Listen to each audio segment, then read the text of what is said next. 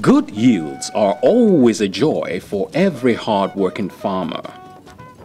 Good crop yields need favorable conditions such as well-distributed rainfall, sufficient sunlight, good agricultural management, and a healthy environment. In Ghana, a large percentage of the farming population is directly dependent on rain-fed agriculture for their livelihoods.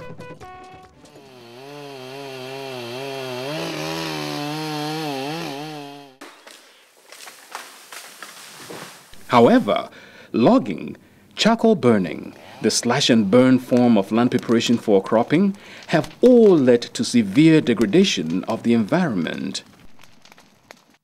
As a result, Ghana is currently experiencing increased temperatures, rainfall variability, and droughts. These conditions threaten water availability and food security. The situation of farmers in communities along the Dayi River Basin is no exception. In fact, scientific information indicates that the average annual rainfall in these communities decreased from 1,700 millimeters per year in 1975 to 1,400 millimeters per year as at present.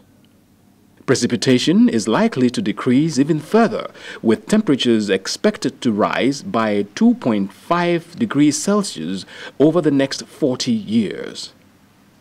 This decrease in the amount and distribution of rainfall has had a considerable impact on the traditional rain-fed agriculture and crop yields in the area. This farmer shares his experiences. We have been getting food crops in abundance. Up to a certain stage, year about uh, five or six years now, the yielding has been diminishing, going down. Traditionally, farmers plant more than one crop on the same field. This serves as a buffer against unforeseen weather conditions should one of the crops fail as a result of bad weather.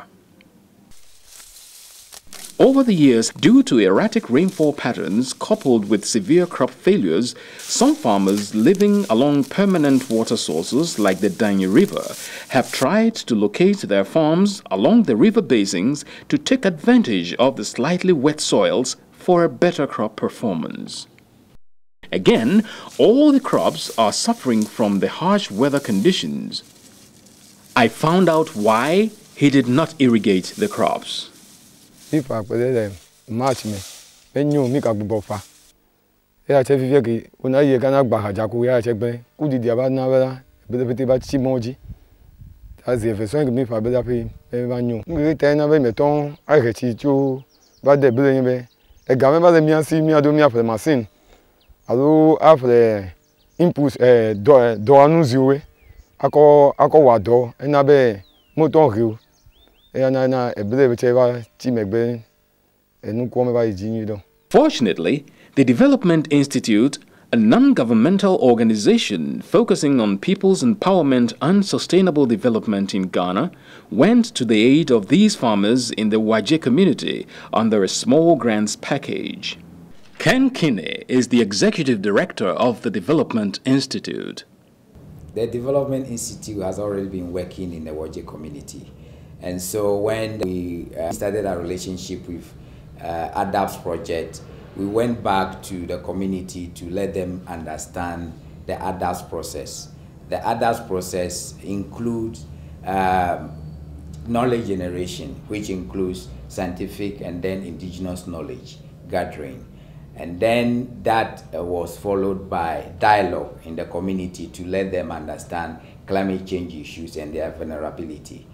ADAPTS is an initiative of the Institute for Environmental Studies IVM and Acacia Water, whose role specifically is to support the assessment of the climate and also the hydrological impacts of activities and measures which had already been designed by local communities. Both ends, the other partner in ADAPTS, supports the empowerment and dialogue activities. ADAPT has put together simple strategies that enable developing countries to effectively respond to consequences of climate change in the water sector.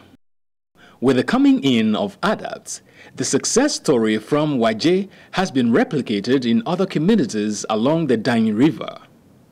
Many more farmers are now seriously cropping under irrigation using water from the Dayi River. Fortunately, the Dayi River has enough water all year round, and with the aid of this big sprinkler irrigation pump, the farmers are able to pump enough water from the river for a good crop performance. The study has also shown that there will be water available for surface irrigation, so which also makes it sustainable. To protect the Dayi River, at least around the areas being cultivated in the various localities for a more sustainable production, four zones were created from the riverbed upwards. A buffer zone measuring 30 to 50 meters from the riverbank was created. This zone is a no cultivation area but was created to help prevent erosion of the banks of the river. A minimal activity of enrichment planting of water-loving plants indigenous to the area was, however, carried out. An agroforestry zone was planted with the mixture of timber and non-timber species suitable to the area and selected by the farmers. These trees were carefully chosen to provide additional income in future and also protect the environment from further degradation. The cultivation zone was demarcated purposely for vegetable and other high-value crops meant to give these farmers good income. míedena agblea míyɔna tsi kɔna ɖe nuwo dzi yi ke be ƒe ɖeka me lé mítsɔ ŋku zi ɖeka tsa fifia míetsɔ ne ƒe ɖeka me zi etɔ̃ alo zi eve na be míekpɔna ga akɔkpɔ ɖeviwo dzi le school. ADAPTS has helped communities to transit from rain-fed agriculture to irrigated agriculture. ADAPTS have also ensured that the communities now own uh, irrigation, uh, a small-scale irrigation equipment which is sustainable and they can continue to use it. Farmers are now better, especially all the farmer groups, including women that are part of this particular project. Now they can crop twice in a year and their incomes have quadrupled because what they normally have initially is just about 500 euro. But now they can make 4,000, uh, between 2 to 4,000 euro a year. So that is a huge improvement. The ADAPT model, apart from aiding the vulnerable groups in the society to build resilience against the effects of climate change, also engages in policy dialogues on climate-proof water management for even the entire country. Policy dialogues were then set up with the Water Resources Commission, the main governmental agency responsible for water resources in Ghana.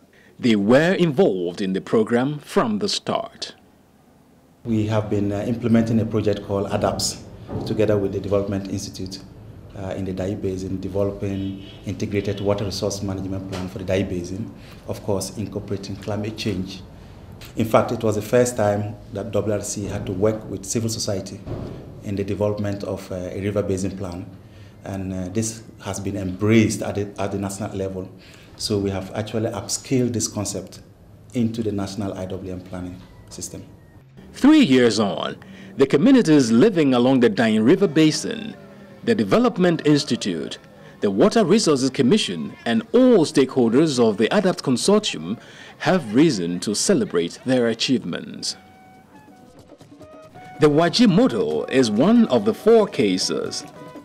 Countries such as Vietnam, Peru, and Ethiopia have applied the same ADAPT approach within their own context.